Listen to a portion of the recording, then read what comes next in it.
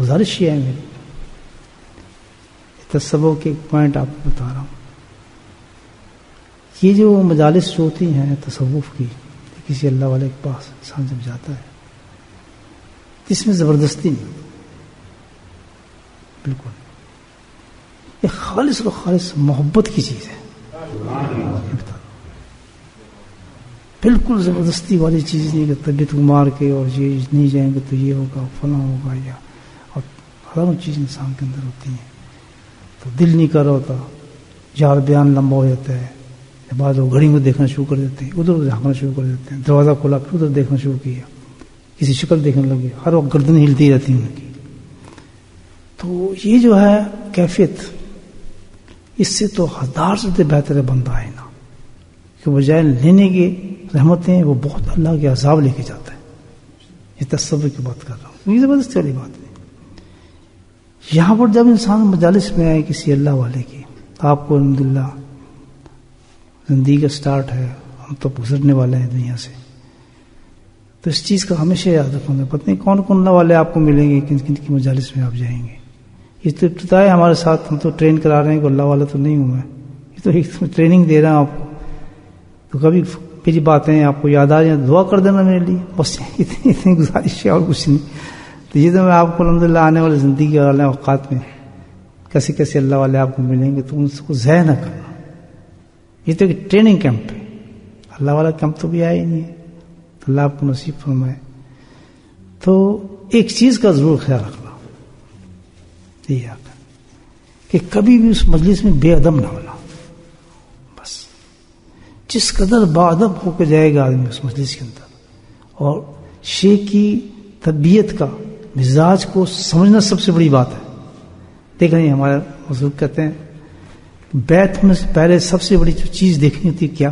یہ نہیں دیکھنا اس کے پاس کشف ہیں کرامات ہیں، درجے ہیں، علم ہے، اور بڑے بڑے فکر ہیں، کچھ نہیں۔ ایک چیز دیکھنی پڑتی ہے کہ مجھے اس سے استفادہ کس طرح ہوگا؟ استفادہ سمجھتے ہیں؟ کہ میں اسے فائدہ کیسے لوں گا؟ اس کی علم کی وجہ سے فائدہ لوں گا اس کی کسی اور چیز سے فائدہ لوں گا؟ نہیں۔ فائدے کے لیے سب سے بڑی ایک چیز ہے یاد رکھنا، استفادہ حاصل کرنے اگر آپ نے، اگر کسی شیخ سے استفادہ حاصل کرنا ہے، فائدہ حاصل کرنا ہے، تو ایک چیز ہے کہ آپ کی اور اس کی طبیعت کی مناسبت ہو۔ اس میں یہ خیال رکھیں کہ جب مجلس میں بیٹھیں تو کان جو ہے آپ کے بہت ایکٹیو ہونے چاہیے۔ دماغ ایکٹیو ہونا چاہیے۔ اور نگاہیں بالکل جھکی ہونی چاہیے۔ اور مستعدی سے اس بات کو انسان سن رہا ہو۔ زلزلہ بھی آ جائے تو آدمی اپنے گردنوں کو نہ پھیڑے ادھر ادھر۔ بالکل ہلے نہ۔ خاموشی کے ساتھ گفتگو کو سنیں اور ہر گفتگو سے فائدہ پورا اٹھانے کی کوشش کرے کوئی مجبوری ایسی ہو جائے جس میں جانا پڑے تو بہت ادب کے ساتھ اس مسجد سے اٹھ کے آستہ سے جائے۔ مسجد میں بیٹھ کے ادھر ادھر دیکھنا، یہ دیکھنا، دیواروں کو دیکھنا گڑی کو دیکھنا، وہ اس قدر بڑی بے ادبی ہے، کیا ہے؟ وہ جو شیخ بات کر رہا ہوتا ہے، اس کی کنسنٹریشن جو ہوتی ہے، اللہ کا فیض اس پہ اتر رہا ہوتا ہے، اس کی جب ادھرتی ہے تو سارا عذاب اس آدمی پہنچ جاتا ہے۔ جس نے اس کی طبیعت کو ڈسٹرب کیا، مزمل کیا بات کو ختم کیا۔ تو یہ ادب کا نقطہ ایک بہت بڑا دوستوں آندہ، جب بھی کبھی اللہ آپ کو توفیق دے کسی اللہ علیہ کی مجلس میں تو دو چیزوں کو اجازت ایک تو مناسبت ہے آپ کی طبیعت کی، اس کے ساتھ الحمد للہ تب کہیں تو مجھے بیت کریں آپ۔ سب سے بڑی چیز دیکھیں، اس کے علم دیکھنے کی ضرورت نہیں۔ کتنے بڑا عالم ہو لیکن آپ کے کتنا بڑا درجے کا آدمی ہو لیکن اگر آپ کی مناسبت نہیں اس کی طبیعت کی خالص اللہ کے قرب اور معرفت کو حاصل کرنے والا راستہ ہے۔ اس کے لیے جو قرآن نے بتایا راستہ، وہ میں آپ کو بتا دیتا ہوں۔ بڑا واضح قرآن میں آئے بتائیے وجہ حدوفین اللہ اللہ قرآن نے اللہ پاک۔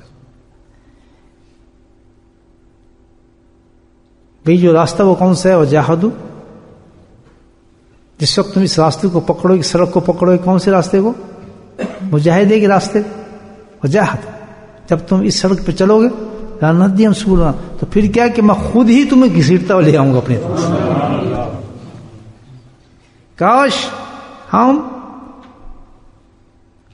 نفس کی مخالفت کر کے بے شک تھوڑی عبادت کرتے اور صبح سے لے کے شام تک نفس کے خلاف چلتے تو شام کو اللہ ہم سے راضی ہو جاتا۔ بات سمجھ آئی؟ بہت قیمتی نقطہ ہے۔ یہاں فیل ہوتا ہے آدمی اور پھر اس کو سمجھ نہیں آتا یار کیا بات میں یہ سب کچھ کرتا ہوں، پھر پتہ نہیں کیا۔ اکثر سالکین کے دل کے اندر یہ وسوسے و خیالات جاتے ہیں۔ کہ یار کام بن نہیں رہا، اتنا عرصہ ہو گیا ہم ذکر کرتے ہیں اور فلاں بھی کرتے ہیں، یہ بھی کرتے ہیں، کوئی کام نہیں بن رہا، ہمارا کچھ ہوا نہیں۔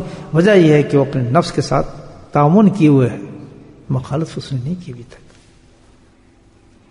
تو سب سے بڑی چیز ہے جو اللہ کا راستہ وہ کون سا ہے؟ وجہ حدو۔ نفس کی مخالفت کرنا ہے۔ اور نفس کی مخالفت کون کس طریقے سے ہوگی؟ جب انسان کے صلی اللہ علیہ کے پاس جائے گا۔ اپنے آپ کو پیش کرے گا۔ اپنی غلطیوں کو پیش کرے گا، اپنی اصلاح کی نیت کرے گا، اپنی اصلاح اس سے کرائے گا۔